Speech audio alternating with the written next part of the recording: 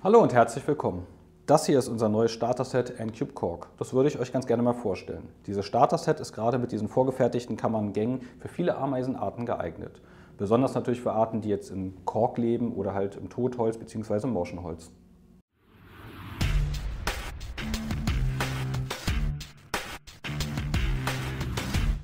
Kork ist chemisch neutral.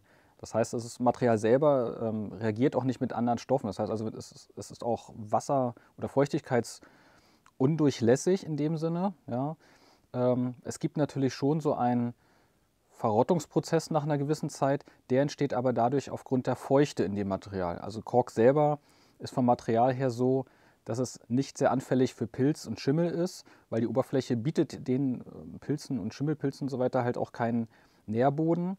Aber wenn das ganze Material dauerfeucht ist, also nach einer gewissen Zeit, ähm, dann kann natürlich ein Fäulnisprozess eintreten. Ja, das ist nicht sehr stark oder das Risiko ist da nicht sehr hoch, da Kork ähm, verschiedene Stoffe nochmal beinhaltet, das ist zum Beispiel Tannin oder so ein, sehr, so ein Eiweißmangel, so dass dieser halt nicht so anfällig ist gegen Fäulnis. Also wenn Schimmel entsteht, ja, dann liegt es halt häufig daran, dass das Nest verunreinigt ist durch Futterreste, Exkremente, verstorbene Tiere, die, die Tiere ablegen, plus Feuchtigkeit. Also wenn das Ganze dann natürlich auch eine gewisse Feuchtigkeit hat.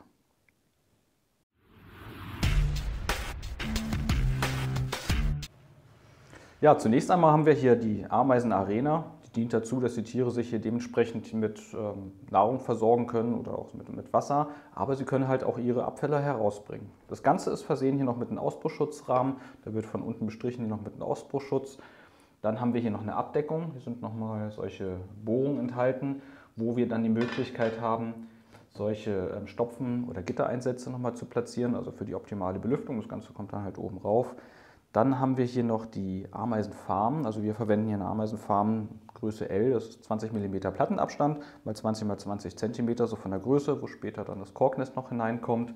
Das Ganze wird verbunden hier mit so einem transparenten Schlauch und so einem Beckenschlauchverbinder.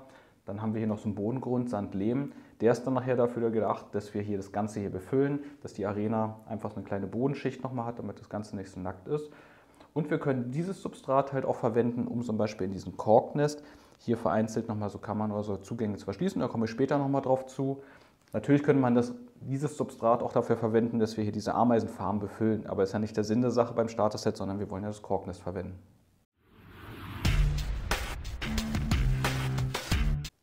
An sich sind Ameisen auch wirklich sehr saubere Tiere, die ihre Abfälle aus dem Nest heraustragen. Aber trotzdem kann es mal vorkommen, dass die Tiere ihre Abfälle im Nest platzieren. Gerade bei kleinen Kolonien, die in einem zu großen Nest leben, kann sowas häufig vorkommen.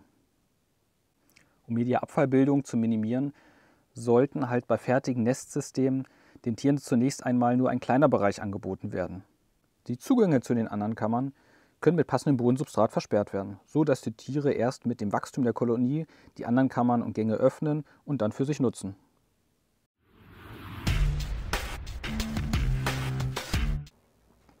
Ja, dann haben wir noch weiteres Zubehör. Das ist hier einmal so ein Thermohygrometer in so ein Display mit drin, was an einen Rahmen geklebt wird. Das Ausbruchschutzöl, zum Auftragen des Ausbruchschutzöl haben wir hier noch so einen Schwamm, das ist ganz praktisch, um das Ganze noch aufzutragen. Passendes Futtermittel, wir haben hier noch eine Tränke, einen Futterspender, das Korknest, eine rote Abdeckfolie, damit die Tiere so ein Tagegefühl dann bekommen. Wir haben eine Lupe, eine Federstabpinzette zum Greifen der Tiere, eine harte Pinzette, also zum Greifen fester Objekte, Abfallreste oder andere Sachen, die vielleicht in der Farm stören oder in der Arena. Und zu guter Letzt haben wir hier noch eine Pipette zum Befeuchten der Anlage. Wenn ihr aber Arten habt, die es etwas feuchter mögen, ja, dann solltet ihr die Befeuchtung von oben durchführen. Das heißt, wir haben hier seitlich hier noch diese Buchse, da können wir hier diese Gitterkappe entfernen. Dann geht man mit der Pipette rein, gibt ein paar Tropfen Wasser halt ab. Ja, man muss natürlich wissen, Kork selber speichert ja nicht das Wasser. Ja, es nimmt ja nicht das Wasser auf aber es sammelt sich zwischen den Poren beziehungsweise oder es fließt halt gleich nach unten durch. Ja, also man sorgt eher für eine hohe Luftfeuchtigkeit. Das Nest selber darf aber nicht im Wasser stehen. Das ist also auf jeden Fall zu beachten. Sollte es doch mal passieren, wir haben hier seitlich unten nochmal hier diese ähm, Öffnung. Darüber kann man notfalls zu viel Wasser auch nochmal entfernen. Ja, aber sonst haben wir natürlich die Gefahr des Fäulnisses.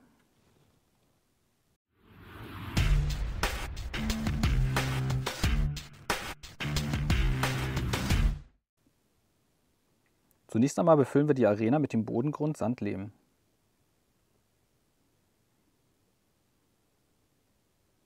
Dabei ist zu beachten, dass wir halt wirklich nur so eine hauchdünne Schicht von 1 bis 2 mm einfüllen. Bei zu viel Bodengrund, also wenn wir es zu hoch einfüllen, besteht die Gefahr, dass die Tiere sich halt in die Arena eingraben und nicht in die dafür vorgesehene Farm bzw. Nestbereich.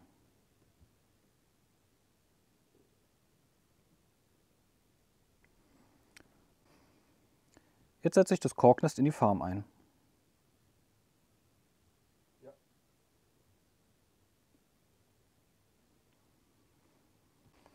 Dann verschrauben wir den Beckenschlauchverbinder mit der Arena.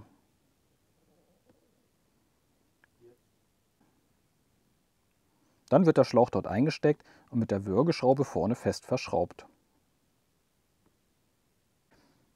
So, jetzt schieben wir einfach das Schlauchende in die Buchse der Farm, um diese damit zu verbinden. Mit der 16 mm Gitterkappe und den 27 mm Stopfen verschließen wir die noch vorhandenen Öffnungen hier in der Farm und in der Arena.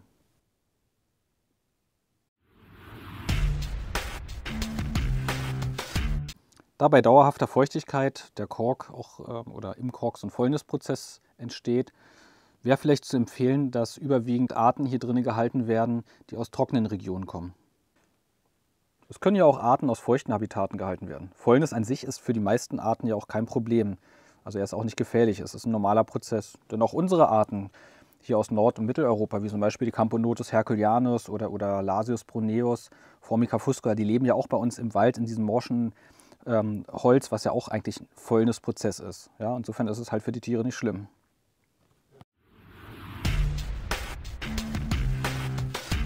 So, nun befüllen wir die Tränke mit Wasser und ich gebe etwas Futter in den Futterspender.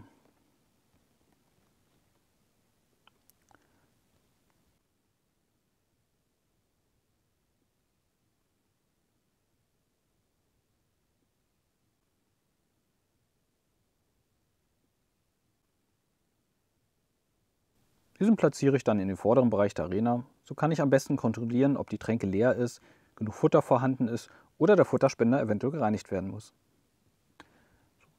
Wenn die Arena hier soweit fertig eingerichtet ist, befestige ich das Thermohygrometer an der Rahmenunterseite. Dazu löse ich die Schutzfolie an der Klebefläche. Achte darauf, dass das Thermohygrometer an der Rahmeninnenseite, nicht an der Außenkante befestigt. Sonst passt der Rahmen nicht mehr in die Arena. Achtet darauf, es gibt wirklich nur einen Klebeversuch, da der Kleber extrem gut hält und schwer abzulösen ist. Den Rahmen bestreichen wir jetzt mit einem Ausbruchschutzöl. Dazu kann man wunderbar hier unseren mitgelieferten Schwamm verwenden. Oder ihr nehmt ein Haushaltstuch oder könnt es auch mit dem Finger auftragen. Wichtig ist wirklich nur einen dünnen Film auftragen. Nun setzen wir den Rahmen auf den kubierten Rand der Arena auf. Schaut nochmal, ob wirklich alles dicht abschließt. Theoretisch wäre die Anlage jetzt schon sicher, da die Tiere nicht entweichen können. Um ganz sicher zu gehen, haben wir hier noch eine Glasabdeckung, bei der zwei austauschbare Einsätze eingesteckt werden können. Der Gittereinsatz sorgt hier für einen guten Luftaustausch.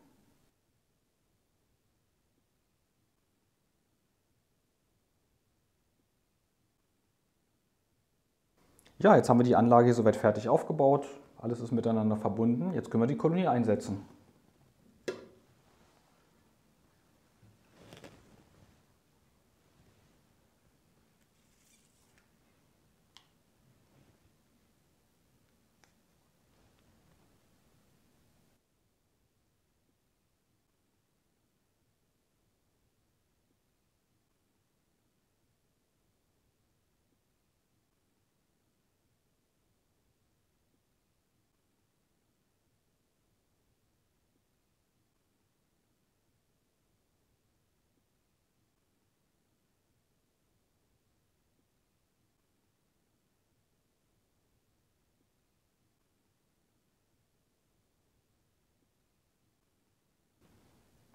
Zum Abschluss vielleicht nochmal der Hinweis, dass die Tiere nach einer gewissen Zeit, also wenn sie größer wird, die Kolonie, dass sie dann hier aus diesem Korkmaterial auch Stücke herausbeißen. Das heißt, sie können diese Anlage auch nach eigenen Bedürfnissen später dann nochmal gestalten.